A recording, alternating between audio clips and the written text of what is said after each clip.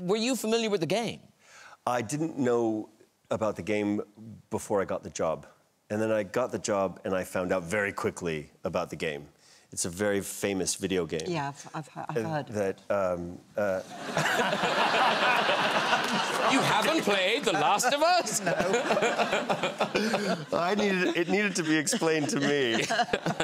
um, but uh, when I when I when I got the job, I I, uh, I was very familiar with HBO. I was very familiar with Craig Mazin, who, who created uh, Chernobyl. Yeah.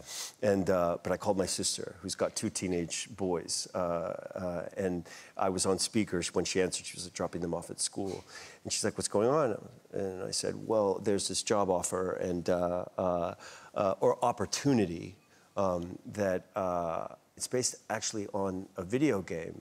And uh, Bruno and Pedro are my nephew's names, and they're like, "What is it?" And I was like, "It's called the La- and they're, The Last of Us." you better get that job. You talk about getting that job. Uh, your experience of getting that job, quite hazy, I think. Yeah. I was in London. I was in London. this is horrible. Okay. Okay, so it all happened very, very quickly. It was a very strange thing where it was read the scripts, talk to Craig, uh, uh, uh, and then, you know, it was getting later and later at night. And uh, we're shooting in London at the time, and uh, they needed me to stay up late to meet the creator of the video game and the executive producer Carolyn Strauss, who was on Game of Thrones, and um, to continue kind of like you know convincing, trying to convince them to hire me for the job. And um, by the time it was all said and done, it was late, and uh, I uh, I took a, a an Ambien, a, s- a sleeping Ooh, a sleeping yes. tablet That's that's strong. to go to bed. Yeah, because I knew that I needed to. Because I was at that point, I was kind of hyped up. yeah. Yeah. You've got to work the next day. You've got to Yeah, yeah. and I was excited about Yeah, yeah. the the prospect. So they called me to tell me that I had gotten the job, but I'd already taken the tablet. so I really didn't think. I thought that I would at least have to wait until the next day, you know.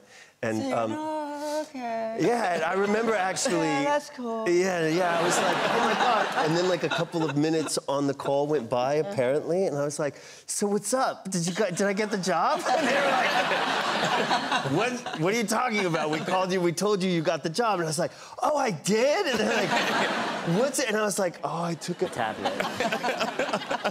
I forgot that completely. Woke up in the morning. It was all like, oh my god, did I get the job? You know, I'm gonna have to wait all day. They're in LA. I'm in London. uh, So many. I'm gonna be waiting by the phone and everything. And and and I had I, I had gotten the job. I'm surprised you kept the job. The Graham Norton Show, all new, Sundays at 11 on BBC America and streaming on AMC Plus.